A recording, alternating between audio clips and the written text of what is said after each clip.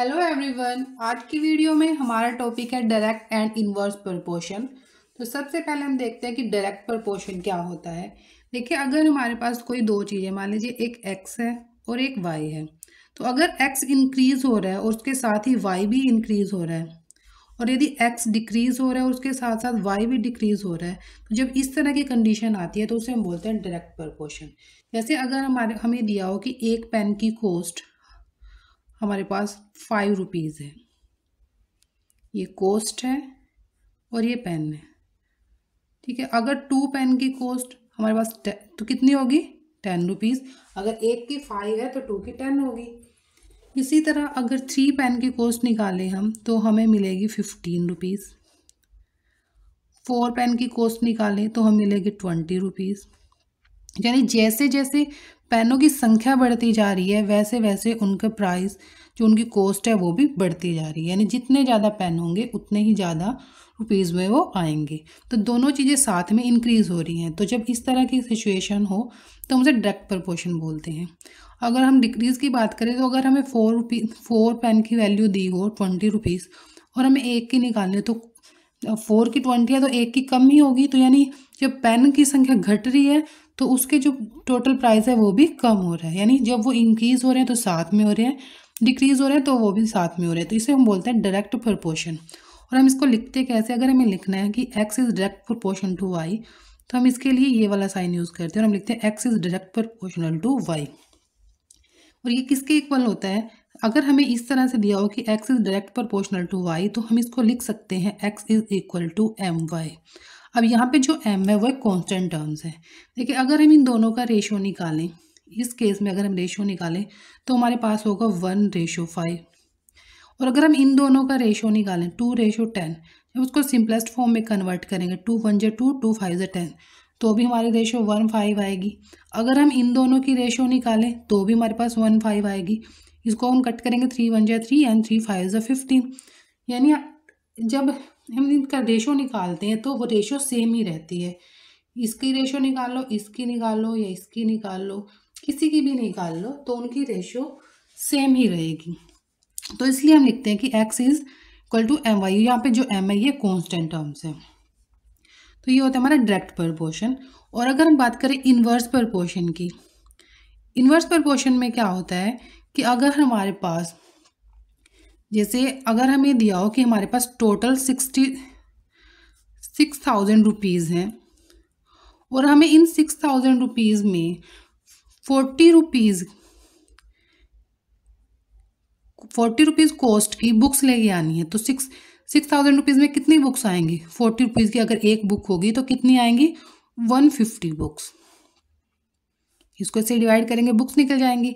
इसी तरह अगर हमें दिया, हमें बोला जाए कि फोर्टी रुपीज़ की ना लेके हम फिफ्टी रुपीज़ पर कोस्ट की बुक लें तो बुक्स कितनी आएँगी? टोटल रुपीज़ सिक्स थाउज़ेंड ही है तो हमारी बुक्स आएँगी वन ट्वेंटी तो जैसे ही बुक का प्राइस ज़्यादा हुआ तो बुकों की जो संख्या है वो कम हो गई। तो इसे हम बोलते हैं इन्वर्स प्रपोर्शन तो बुक्स कितनी होगी हमारी? वन ट्वेंटी इसी तरह अगर हम कहें कि हमें जो बुक चाहिए वो सिक्सटी रुपीज़ की होनी चाहिए तो हमारी बुक्स कितनी आएँगी?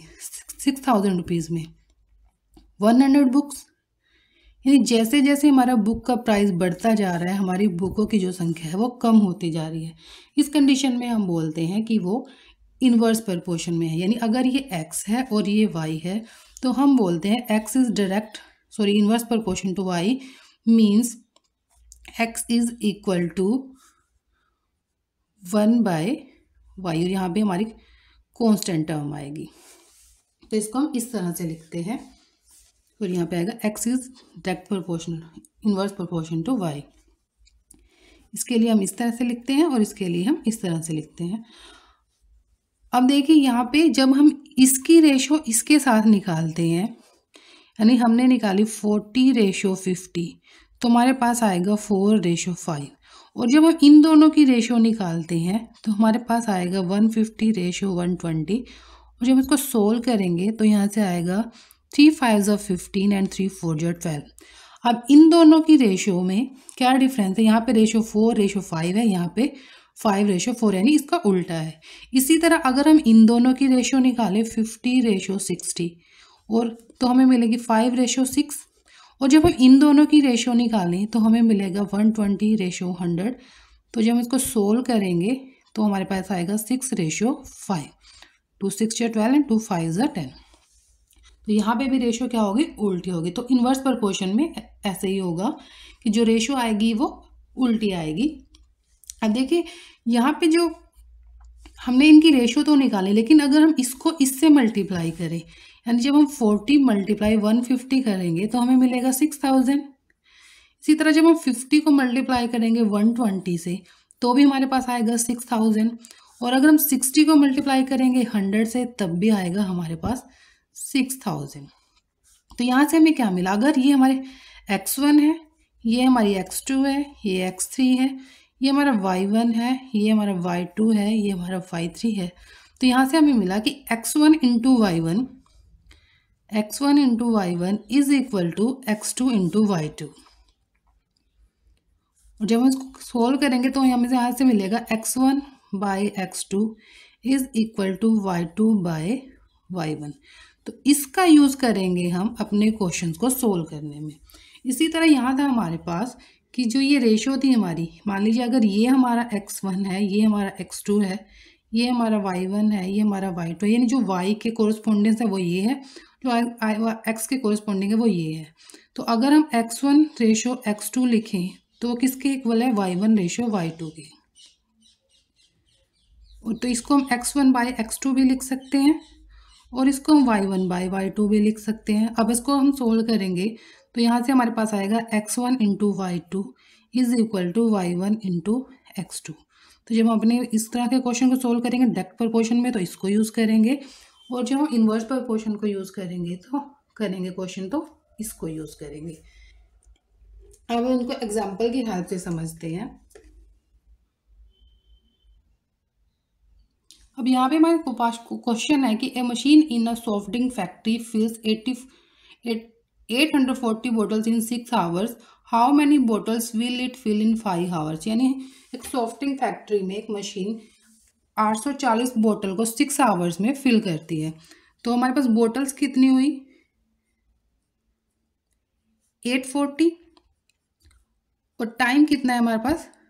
सिक्स आवर्स और how many bottles will it fill in five hours हमें बताना है कि फाइव आवर्स में वो कितनी बोटल्स को फिल करेगी। अब देखिए, पहले हम ये देखेंगे कि ये डायरेक्ट प्रपोर्शन का है या इन्वर्स प्रपोर्शन का है। अब देखिए, यहाँ पे हमें दिया कि जो मशीन है, वो 840 बोतल को सिक्स आवर्स में फिल करती है।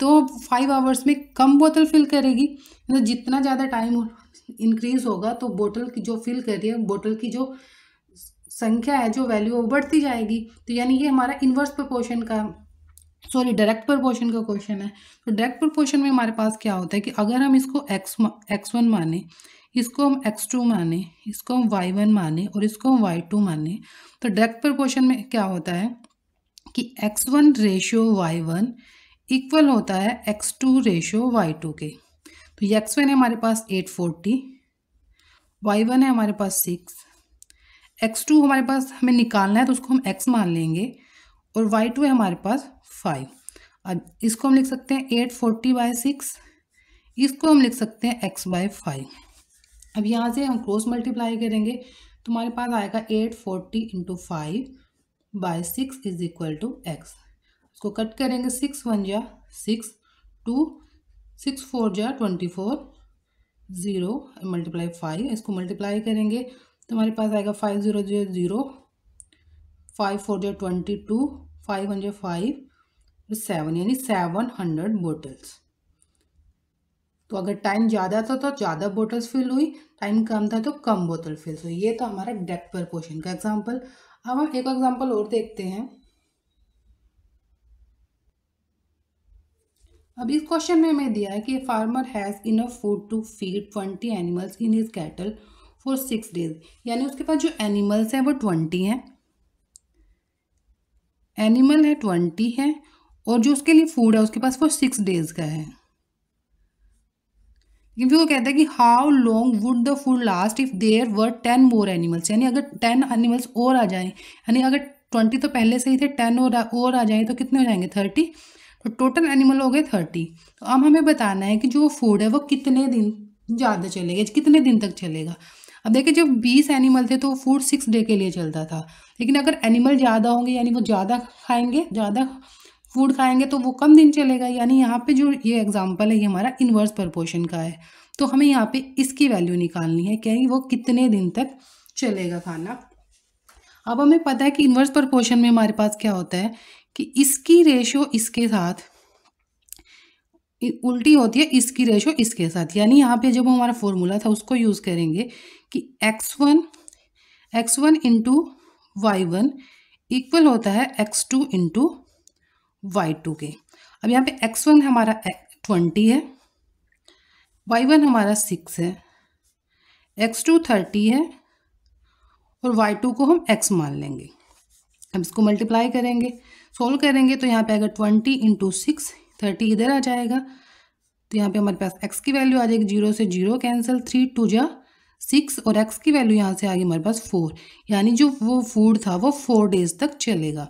अब देखिए, अगर एनिमल ज़्यादा हो गए तो वो भोजन कम दिन चलेगा। यानी जो ये इन्वर्स इन्वर्स पर पोर्शन का क्वेश्चन होता है, उसमें हम ये वाला फॉर्मूला यूज़ करते हैं, इसकी मल्टीप्लाई इसके साथ इक्वल टू इसकी मल्टीप्लाई इसके साथ। लेकिन जो डायरेक्ट पर पोर्शन का होता है, उसमें क्या होता है कि इसकी रेशियो इसके साथ इक्वल होगी इसकी रेशियो इसके साथ।